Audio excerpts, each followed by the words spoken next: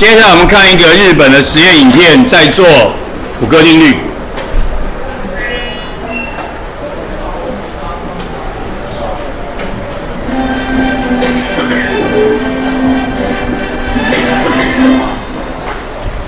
他又准备了那个所谓的弹簧，还有砝码，还有后面有一个标尺。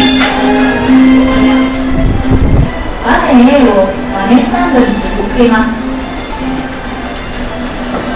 然后归零，挂上去先归零。归零，不要连起来。电气用指标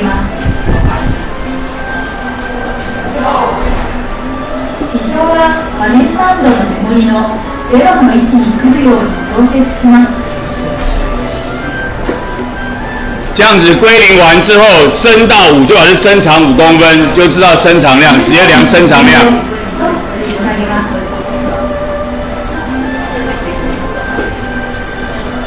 バネスタンドの目盛りからバネの伸びた長さを読み取ります。十克重，然后二十克、三十克、四十克。十グラムの重りを一つずつ増やして下げ、バネの伸びた長さを。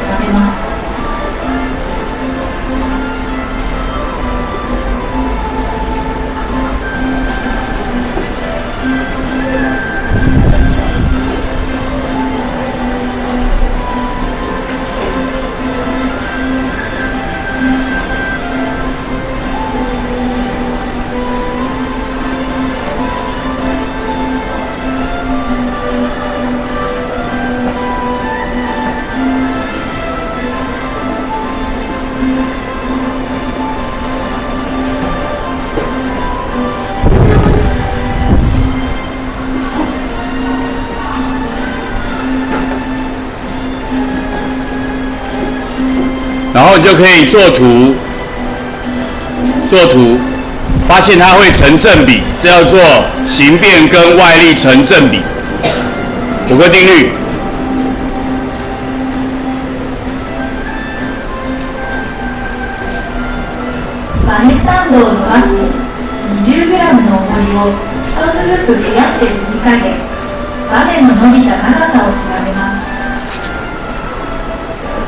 他待会再做一次，同样糖再做一下，变成二十克、四十克、六十克。它的第一个二十克的显示的那个升长是错的，应该只有五点一左右，他写的十点多是错的。啊，但是他为了跟等一下另外一个 B 弹簧做对照，所以把刚才实验再做一遍，再做一遍。这是错的，应该只有五点一左右，五点一、五点二。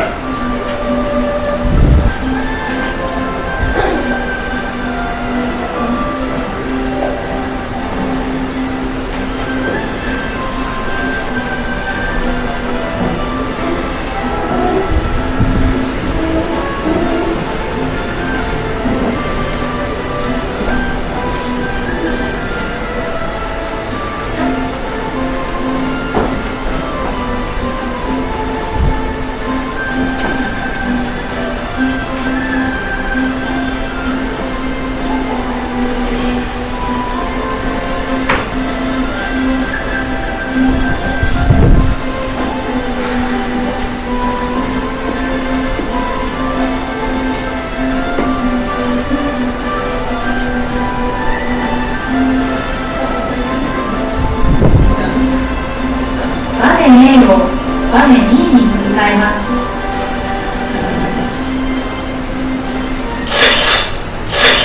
他刚才他等一下会换一个弹簧 B，他会换一个弹簧 B，然后呢，就是弹簧不一样，所以同样的力量伸长量会不一样，同样的伸长量会不一样。好，然后这个事情国中是没有教的，所以我们国中题目基本上都是同一个弹簧，完全一样，完全大部分都是这种题目。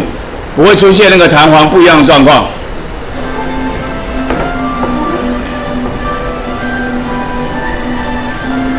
好，准备要更换一个弹簧 B。然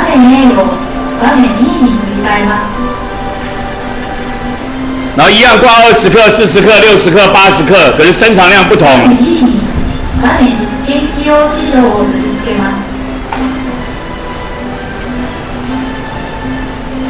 地表はマネスタンドの目盛りのゼロの位置に来るように調節します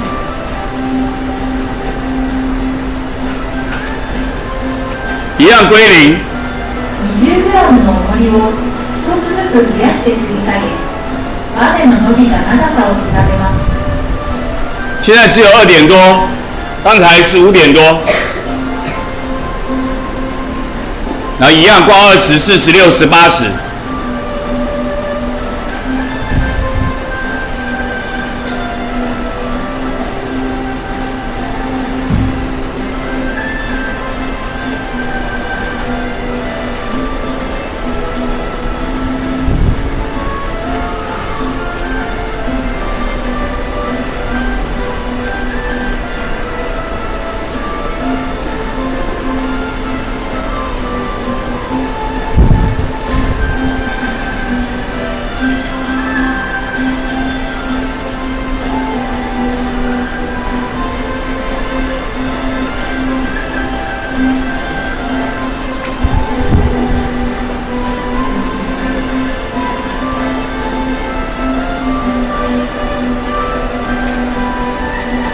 然后我们就有两组数据，就可以把它都整理成表格，然后都可以去画图。都画图，你就发现它都成正比，都是胡克定律，外力跟形变成正比，而弹簧不一样，所以伸长量不一样。所以比较一下，同样的，同样的砝码，但伸长量不同，因为弹簧不一样。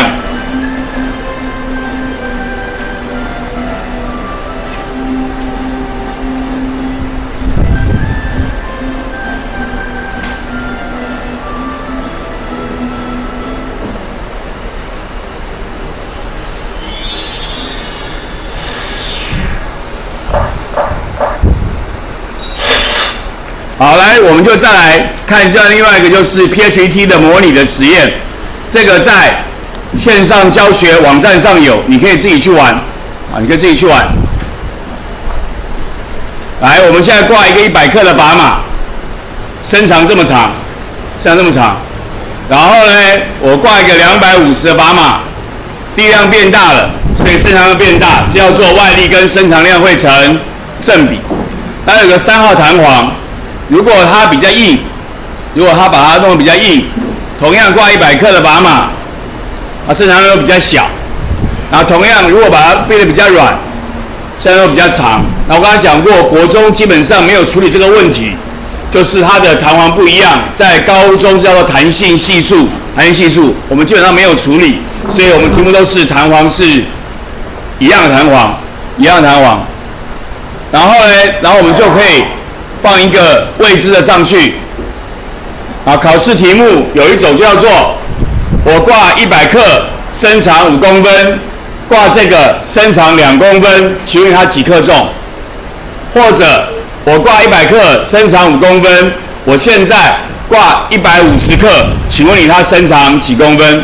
就是考试问这个题目，就是这样未知的就这样子，就是让你回去可以自己玩一玩，模拟看看，就是我们要做的事情。